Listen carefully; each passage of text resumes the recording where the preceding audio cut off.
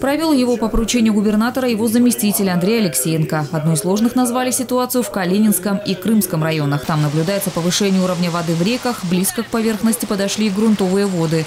При этом в большинстве районов ситуация с паводками стабилизируется. Спокойной стала Лаба и Кубань. Что касается Краснодарского водохранилища, его состояние круглосуточно мониторят сотни специалистов, в том числе и спасатели. И сейчас наполнение Краснодарского моря находится на уровне нормы. До пределов резерва далеко, сообщили на совещании. Сейчас идет э, на очень высоком уровне сброс воды, 1200 кубов в секунду.